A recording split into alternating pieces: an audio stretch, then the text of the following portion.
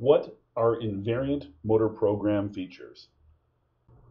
Invariant motor program features are the aspects of the motor program that do not change trial to trial. The invariant motor program features include the order of events, so the sequence that the muscles fire in. So with a given sport skill, the order that the muscles are activated is constant each time you repeat the skill and does not change, hence it's an invariant feature. The relative force that is used is also an invariant feature. Now that doesn't mean how hard you're firing, it means the relationship of force between two or more muscles stays constant.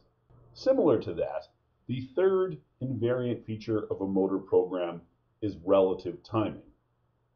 Most people get the idea of order of events as it's fairly straightforward, but let's talk a little bit more about relative force and relative timing. What is relative force and what is relative timing? Imagine you have two muscles involved in executing a motor skill.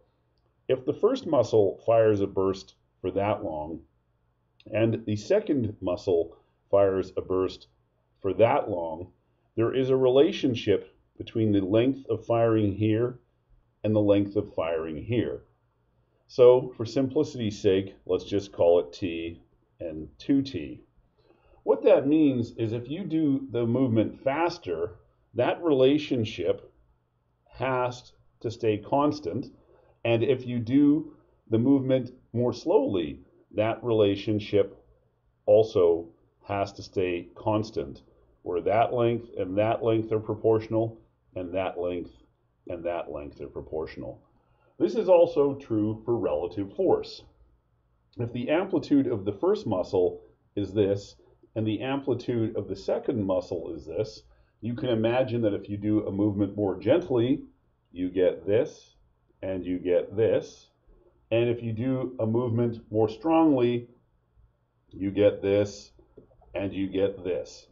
So this amplitude and this amplitude have a ratio that is relative and stays proportionate, as does that and that and that and that. And that is relative timing and relative force.